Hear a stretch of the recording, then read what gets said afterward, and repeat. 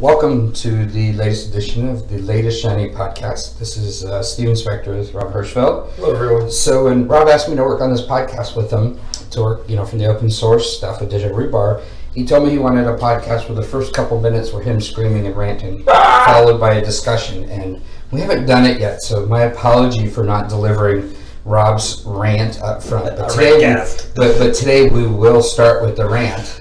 So I'm going to hand it over to Rob, and who's going to blame everything in the world on someone or something, I believe.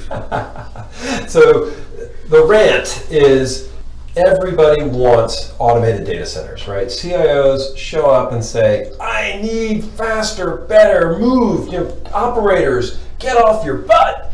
Give me my automated data center. I'm ripping everything out of your hands and moving it to the cloud. The thing that I'm ranting about here is no amount of whipping on operators, no amount of pressure and 70 hour, 80 hour work weeks is going to make an operator lay the golden data center. Uh, it just isn't the way things work. And, and it's actually the opposite, right? What's all this pressure to make data centers work, you know, data centers better is is undermined by working harder to make data centers better. Yeah. you have to pay down the technical debt. You have to fix things. You have to get things going. But my rant is really this idea that that we're going to thumb screw the operators into improving data center operations by having CIOs apply more pressure or threaten their jobs or things like that. It's just not the way we build good, productive operational infrastructure. So that's the rant.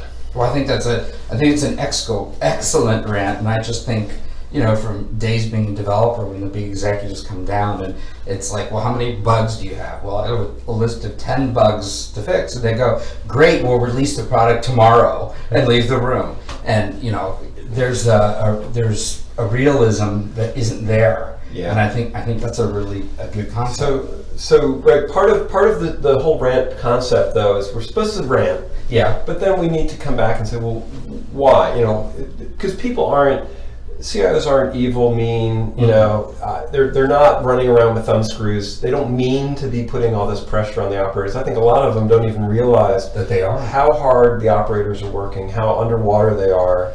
Um, right, I was just on a call with with an analyst who, you know, sort of subscribes to this other bums that gotta you gotta just replace them, and I'm like, I, I don't know any stupid operators. No. Um, matter of fact, most of the times the operators are much more savvy, in my experience. But just so underwater, they're like looking up from the bottom of the pool at all the swimmers who were developers, Yeah. saying, "Wow, you, you make swimming look so easy. If only I didn't have these these 20 pound weights on my shoes."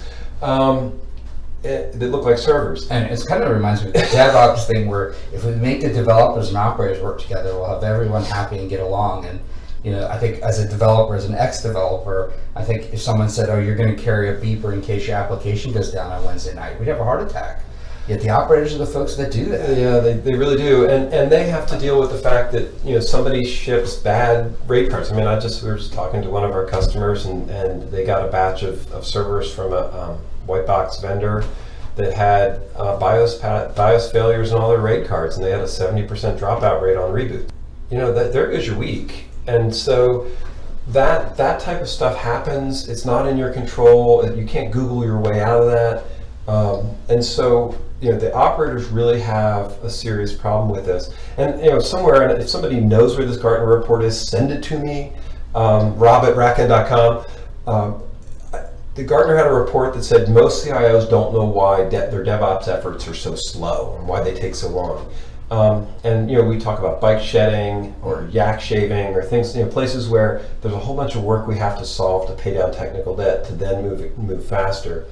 Um, and we saw this firsthand with um, Digital Rebar version 2, where we did a whole bunch of automation, but it, it was opinionated, right? It, it had, you had to conform to an extent, you know, to a large extent, to make Digital Rebar version 2 work. Um, because there were, you know, connections between the dots, right? So when you boot a machine, it's going to go through our discovery process, and our discovery process goes through our parameter process. Our parameter process goes into our orchestration, and, and those connections provided a lot of value. They also provided, you know, sort of a, some restrictions on how you could use the infrastructure, and and we actually threw all that out with V3. and we started over um, and said, all right, how do we make it so that somebody can adopt the, the starting point of fixing their infrastructure without breaking everything else they have? Right. This is to me where the CIOs, you know, they're putting all this downward pressure on improving, and people keep adding debt because they're trying to speed things up. What we felt like we needed to do was start with something simple, right? This sort of five minute install target Mhm. that we hit. Um, you know, five minutes to ins- less than five minutes to install, 30 minutes to be you know fully provisioning infrastructure. Incredibly fast stuff. And there's no extra complexity, right? There's no orchestration system to learn. There's no uh, scripting technologies. It's it's all pretty straightforward stuff because as somebody you know thinking about what the CIO wants, before I can accelerate, I have to get my a platform in order that I can then build on more quickly. I have to have that accelerative platform. What we watched happen, OpenStack's a great example of this. Um, what we watched happen is people would layer on, you know, layer after layer of abstractions and then push the gas. This is a classic OpenStack. Yeah. It's time to provision a VM. Oh, my software-defined networking layer didn't work. Oh, I fixed that. Now it's time to now it's time to install. Oh, my, my storage infrastructure is not up to snuff. Oh, now I'm ready to install. Wait a second. It's now just- this patch. I, you know, There's layers and layers, Layers of and layers stuff happening. and and so if, if you don't start with this sort of foundational, I can patch, update, re- restore process, then things are going to get better. I don't know that the CIOs care. I guess part of what RackN's trying to do is we're, we're trying to have conversations where you can talk to a CIO and say, look, that you know standard best practice, repeatable things at the bottom, help your team build things up, then they can accelerate. Um, you know, we're trying to help people have that conversation, not just layer DevOps on top of all these other layers. Um, you know, that to me is, is how we help heal this problem, right? The Mhm. operator has to look up and say, I'm, you know, I'm going as fast as I can. The engines can't take any more, Captain. I, I just can't do Scotty at all. It's the Scotty thing. It's the Scotty I need thing. work five. I can't get you to work five. I mean, it's great. But, I- but I think that's a great example. So if you're listening to this podcast and you're an operator, I think you should uh, conveniently email some of your bosses this podcast.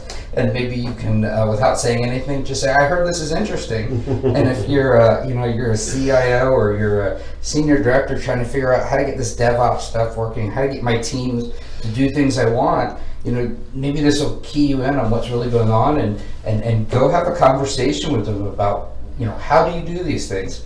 Is this manual? Is this automated? And and actually spend some time. You know, if you invest up front, you, better results come later than just saying, "Oh, we'll just hack it today and let it go." Yep. That's never a good thing. And, and if you're a boss listening to this who's, who's been drugged through it uh, from that recommendation, go buy the Phoenix Project and you know some of, and, and the goal. Some of these some of these real DevOps books that look at the system layer problem and look at the bottlenecks and, and see the problem from this perspective. Um, because it, it really is you can't you can't just put pressure on one side and think it's going to get better. You have to. It's a system. It's a system problem. So. Well, great. This was our first uh, rant, uh, latest Shining Rantcast. podcast, and uh, you know Rob is always happy to rant. Shoot him an email if you have a topic you'd like to rant. Um, we will stay on the DevOps space and RackN space, but Yeah, if there is a about- movie we want to complain about, certainly we can discuss some bad movies that have come out. Rotten Tomatoes. Uh, uh, Rotten So- Tomato issues. But thanks again, Rob, for the uh, rant today, and I think it was very on target. Steven, thanks.